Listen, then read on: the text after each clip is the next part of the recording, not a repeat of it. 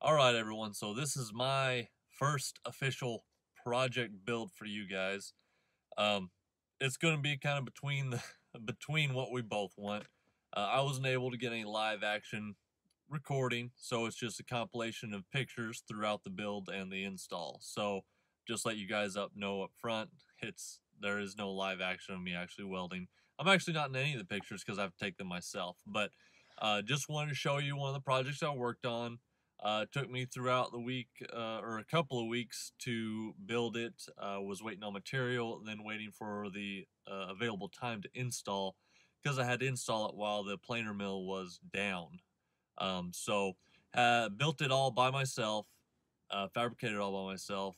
that's just kind of how things fell. Was able to use the mill's maintenance hands to install, and that was a huge help. I really appreciated that. So here's the pictures of my journey, the project build. Let me know what you guys think. Um, it's pretty cool. Enjoy.